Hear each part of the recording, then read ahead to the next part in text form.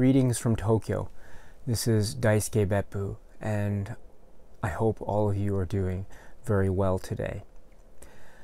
I just wanted to touch base with you and just let you know that I have been receiving a bunch of really fantastic comments from a lot of people, and I've been doing my best to keep up because a lot of you have uh, just so many exciting and uh, uh, just illuminating comments, so so filled with vitality and life. I'm just so grateful.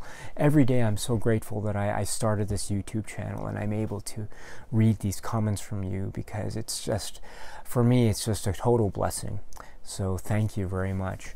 Um, I I do want to say that a lot of people have been so kind to ask me about a lot of things, um, and uh, unfortunately, I'm not so intellectually well equipped to answer every question that's posed to me.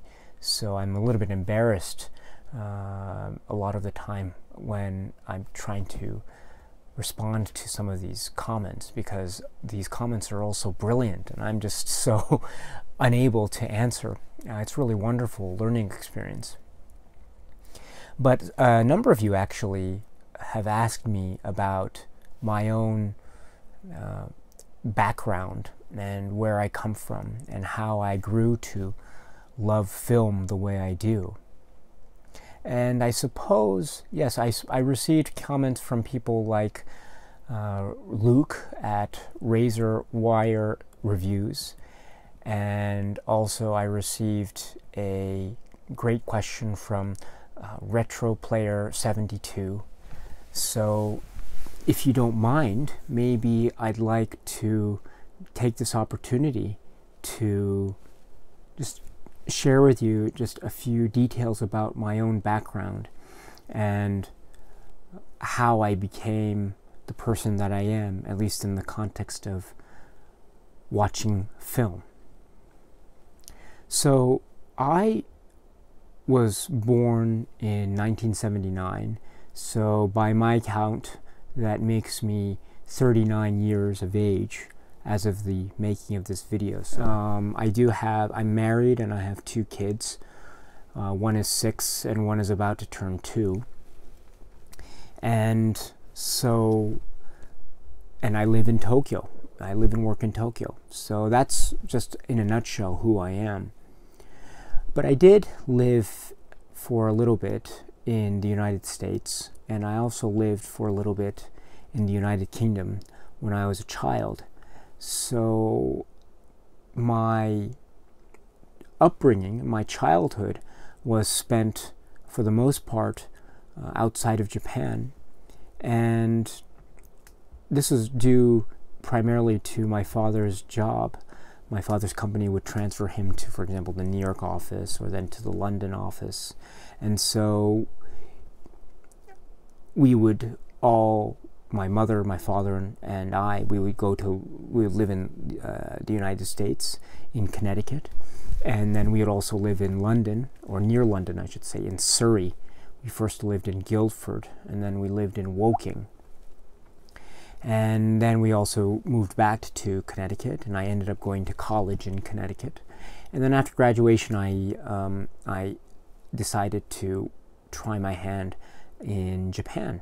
And uh, after a few uh, a few years, uh, I ended up, yes, uh, living and working and being married and having kids in Tokyo. So that's it. That's it. But along the way, of course, I did grow to love film very much. And I owe that in large part to my parents. Now, I'm an only child, and my parents, well, my parents now, unfortunately, both of them are now uh, not with us. They're both dead. So they died rather recently, in fact. So it was a bit, um, uh, they died too young, in my opinion. But I have very fond memories of them, and the fondest memories of those fond memories are those that involve film and cinema. And I suppose, yes, uh, the reason why I say that is because they were always very encouraging and they always let me watch, you know, within reason, of course, they let me watch many sorts of films and they allowed me, for example, to watch horror films when I was very young. And so I was able to watch films like Nightmare on Elm Street and uh, Friday the 13th and Halloween and the sequels. Um, I remember being so scared when I when we rented Halloween 2. I remember Halloween 2 in particular. That was such a thrill because I, I remember it being so much fun to be scared by that film and I would just hide and, and go like this and, and close my eyes and it was just a great time. And then yeah, this was a great time. It was a great time living in England because I remember I was able to watch on TV. Do you remember LWT?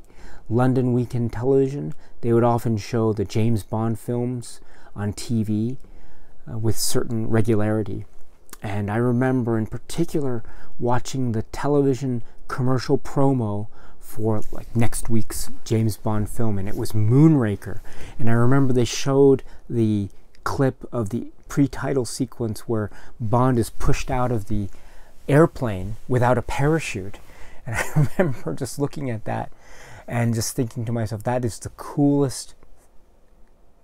Like that's the coolest sequence I've ever seen in my life. And Jaws is there. Oh my goodness, that was a great, that was a great time watching James Bond films on London Weekend Television. And and so I would record. I would take videotapes and I would record all the films that I could I would always try to get as many as I could. And of the ones that I was able to record, I would always watch them over and over again. And that was where I, I developed my love for James Bond films. And that is how I grew to love James Bond films, such that now my favorite James Bond film is, of course, of course, On Her Majesty's Secret Service. Of course. Although I must admit, lately, The Man with the Golden Gun is, is slowly creeping up my favorites list. Uh, I used to not like that film at all, but now I'm, I'm growing quite fond of it, actually. But now, incidentally, my favorites are On Her Majesty's Secret Service and From Russia with Love. And even now, um, it, it's after the fact, but uh, Casino Royale, the Daniel Craig film, I think is really good. But anyway, anyway, so this was my uh, education into the cinematic world of James Bond. And yes, so my parents were very encouraging, and they would let me watch, uh, within reason, of course, uh, the films that I wanted to watch. They drew a line with respect to uh, films of a, a, sexually explicit nature. So I wasn't able to watch films that they knew had where it was very had a lot of intense sex scenes or um, anything of that sort. Not necessarily you know of a pornographic level, but maybe films that had a lot of nudity or a lot of sex uh, that they knew of. I wasn't able to watch. Of course, there would always be the occasional film that would just slip by them. And so I would just watch a film and suddenly be confronted with a lot of naked bodies. But for the most part, uh, it, you know, the, my parents were very open. And uh, so with that, uh, they would also buy cheap VHS tapes for me at the nearby W.H. Smith's uh, in Guildford. And so this is where I got exposure to all these great films of Alfred Hitchcock. So they got Rebecca and Notorious and Spellbound, and so I'd watch these films over and over and over again. I remember the, also Gone with the Wind. The, the, just watch over and over again. Uh, Planet of the Apes. I just remember watching that film. Just yeah, and also the Star Wars films on on VHS tape with the CBS Fox. Do you remember that logo? It changed color, um, or no, it didn't change color, did it? It had that.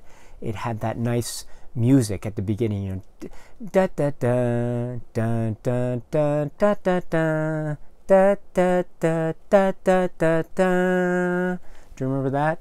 So those were videotapes that we got when I was still living in the United States at the time. So I remember those with, with great fondness. So the, the old VHS tapes of, of the, the original Star Wars trilogy. And also Alien and Aliens too, I must add. And Batman, uh, the Tim Burton Batman.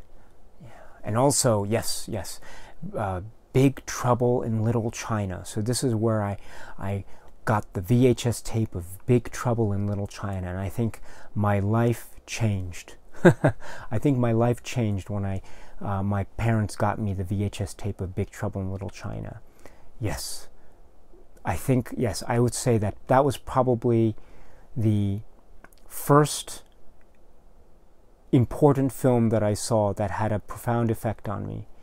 Uh, I can't quite explain it except I feel just so I feel so at home with that film. I don't think I'm I could ever tire watching that film, Big Trouble in Little China. I think I made a video uh, about my thoughts about Big Trouble in Little China. So if you're interested, please take a look at that video. Uh, I kind of spoil it, so I wouldn't recommend watching it unless you've seen the film already. But um, yeah, Big Trouble in Little China. That was a, a really formative film in my in my cinema uh, viewing uh, childhood. Gosh, that was a great film. And so yes, so as I grew older um, and uh, you know got into high school, that was when I started to watch uh, maybe more quote unquote art house films or highbrow films. I don't like those phrases, but just for lack of a better expression. And I remember the first time I saw Yojimbo, the film by Akira Kurosawa, and that was the next film that was quite formative. It, it was a, it was like a, a great. Um, I, I finished the film and it was like uh, light was seeping into my brain. It was as though I was exposed to something that was truly miraculous and uh, my and I think by that point uh, there was no turning back. I just devoured all the films that I could for, by Kurosawa, and then also uh, I discovered Bergman, and you know this is the the normal route, right? You go Kurosawa, Bergman, and then Fellini, and then maybe Antonioni. And for the most part, I remember I didn't like the films very much when I saw them. I did love Yojimbo, but uh, for example, I didn't like Eight and a Half when I saw it as a high school student. I didn't like L'Avventura when I saw it as a high school student. Uh, I didn't like um, Seventh Seal when I first saw it as a high school student. I thought it was quite boring, actually.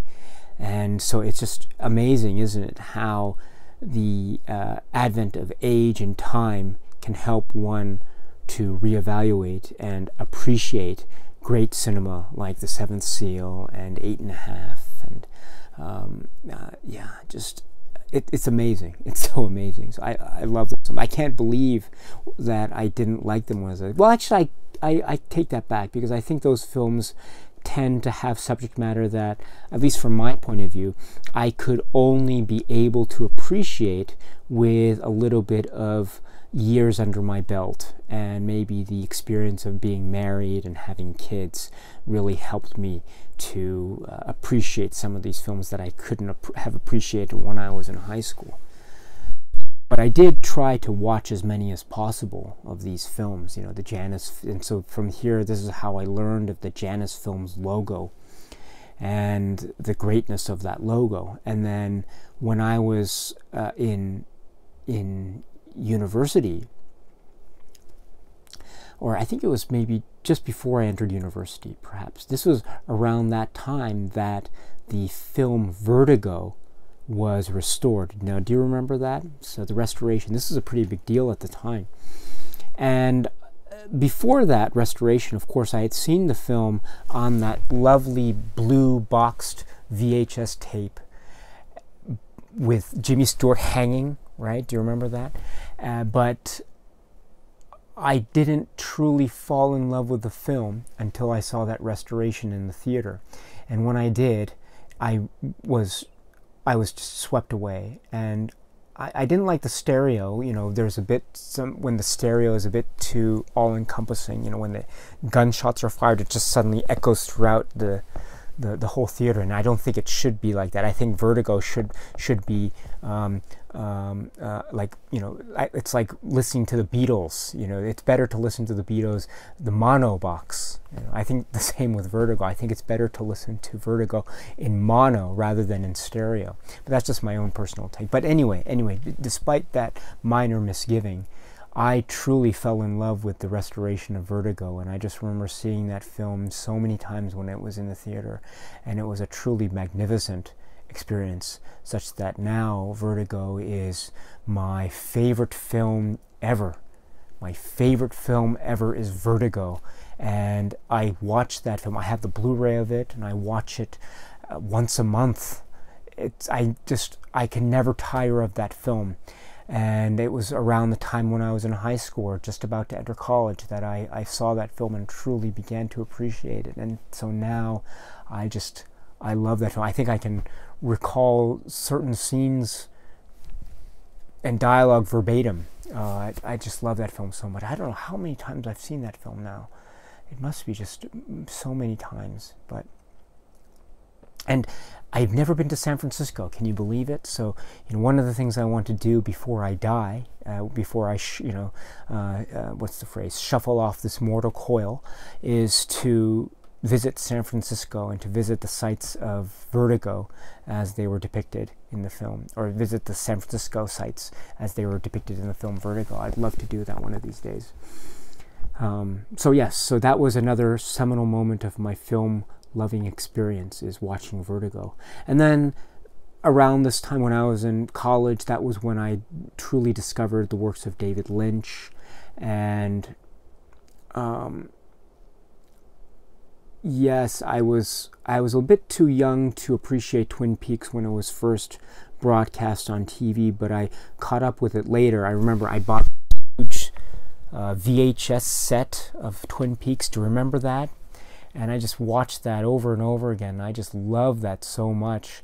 Um, I unfortunately that set didn't have the pilot, so I had to buy the pilot tape separately, and it wasn't the TV pilot; it was the international version. So it was the the version that wasn't the TV pilot, but it was the one that was edited for show overseas or in outside of the North American market. So it, would, it was almost as though it was it was a, is it was its own little movie.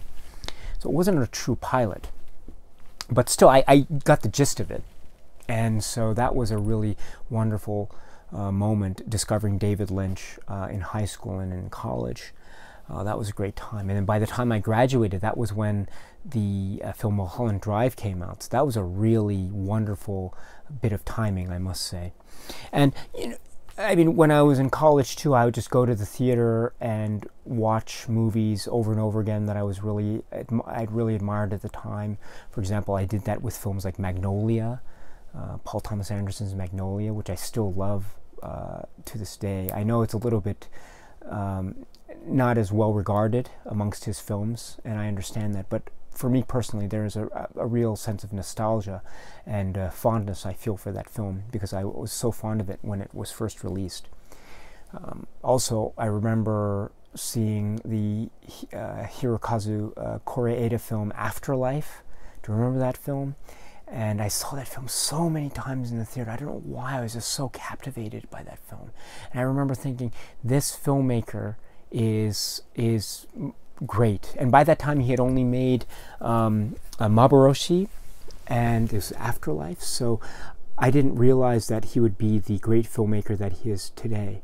But man, that was a wonderful film. That still is a wonderful film. Afterlife. In Japanese, it's called Wonderful Life. And oh gosh, gosh, what were some other films that I saw? Oh yes, this is also the time. Um, I should say also when I was when I first turned 17, I remember the I, I thought the best way to celebrate my 17th, and I, I was in the United States at the time, uh, would be to watch an NC 17 film. And so I watched two NC 17 films. The first one was Crash, the David Cronenberg directed film Crash, which I find to be uh, very interesting, but I must admit I need to explore that film again. I've seen that film a number of times, but it's a little bit hard for me to get into that film. Uh, I don't hate it. I, I just don't love, love, love it as much as I do other films of David Cronenberg. But I really should revisit it and, and try to approach it again with a fresh mind. But anyway, that was one of the NC 17 films that I saw when I turned 17. The other one that I saw was the re release of the film Pink Flamingos. And when I saw this film in the movie theater, this is, you have to remember, this was before uh, YouTube or anything like that. So I, I really had no idea what to expect. I didn't even real why I was thinking I was looking at this poster with Divine and, and you know, with the gun and and I was thinking, and the red dress, that beautiful red dress. And I was thinking to myself, why is this NC-17? Just based on the poster, it doesn't look that that horrible. And uh, so I was went into the theater and I had my popcorn and I was by myself. And yeah, I, I guess it was a it was quite an eye-opening experience because I realized that the film yeah, I think I realized that film can be anything. You know what I mean? It can be the just it can be so expressive and so down and dirty and yet so true. And I think Pink Flamingos in that respect was a real uh, just eye-opening experience. I didn't like it when I first saw the film, but I think I truly felt that I was watching something that was truly miraculous. I don't know if that makes any sense. I was quite disgusted, but I was thinking, you know, it's it's it's so wonderful to be disgusted. does that does that make any sense? I, I'm not sure if it makes any sense to me, but I, I just remember feeling so happy and so disgusted at the same time. And then ever since, I've just grown to love that film so much because I, I just admire its its audacity and the way it it challenged me when I was 17. So thank you very much, John Waters. So you you you gave me another formative moment in my cinema viewing upbringing. So thank you. Yes, so that is the state of my film yes my film background as it were it's not so exciting um, I suppose I could end this video with just a few sets of random bits of trivia I suppose film related, related trivia about me I don't have any connections to any famous people but I remember well actually I don't remember this uh, at all but my mother when she was alive she told me this, but when we were living in, in Connecticut when I was very young, uh, apparently um, Chloe Sevigny babysat me when I was a little kid. And this was because I was we were living in the same town that Chloe Sevigny and her family was living in. And I actually re- recall I don't recall the moments necessarily, but I recall the fact that her mother, Mrs. Sevigny, was a, a teacher of mine. Uh, maybe when I was very little, so maybe it must have been like a pre kindergarten or maybe another nursery school type of situation, perhaps. But yes, so Mrs. Sevigny was a teacher of mine, and I just have a general recollection of her in my mind as being a warm, kind woman, such a lovely woman. And uh, I don't remember ever meeting Chloe Sevigny in person directly. I'm sure I must have, but I just don't have that memory. But of course, this was still before she was still a, a kid herself. So this was before she became this famous actress, this wonderful actress. So, um, ah, yes, so Mrs. Sevigny and Chloe Sevigny. So I have this connection, I suppose, with, with fame in that respect. Although I'm sure they, they they don't remember me at all. Uh, if Chloe Sevigny remembers me, uh, hello. but um, the what else? What else is that? What else is there? Yes, and also I, as I mentioned, we lived in the town that's next to the town of New Canaan, Connecticut, which is depicted in the film The Ice Storm. And also, let's see. Oh yes, I maybe I'll end with this story. Um, I was in college, and it was a I must have been a freshman in college, and I went to a pretty uh, uh it was, it's a pretty well known college, and I don't know how I got in because I'm not that smart of a person. But oh, actually, that's a good point. Let me let me just mention this. This is the power of film. So in high school, I had to study for my SATs because I went to an American school and I was trying to get into a U.S. university. And so, in order to do that, I had to study for my SATs. And you know, part of that study meant that you had to study a lot of these English vocabulary words in order to increase your vocabulary, in order to answer that component of the SAT test.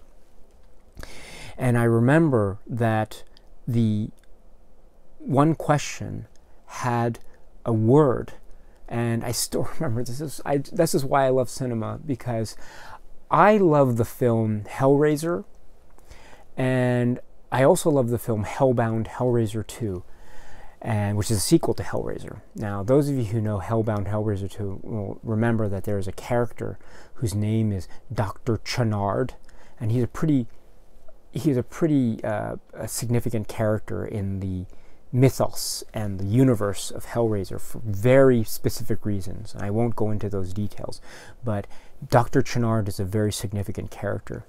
And I remember one of his lines. Um, he says, what does he say? Um, he says to another character whose name is Tiffany, he says, Surgery is open, Tiffany. What was today's agenda? Ah, yes, evisceration.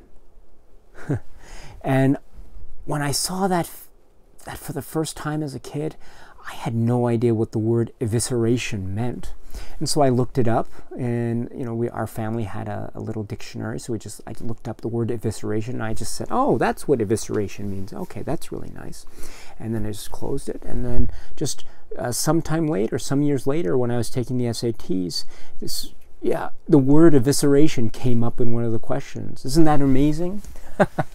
so I can probably thank my love of the film Hellbound Hellraiser 2 for allowing me to be able to answer that question on the SATs with confidence and probably correctly. And that probably was uh, enough to take me just over the top enough to be considered for enrollment in this particular university. So I probably have to uh, thank my love of Hellraiser 2 uh, for getting me into the university that I was able to get into. So thank you, Hellraiser 2, for teaching me the word evisceration.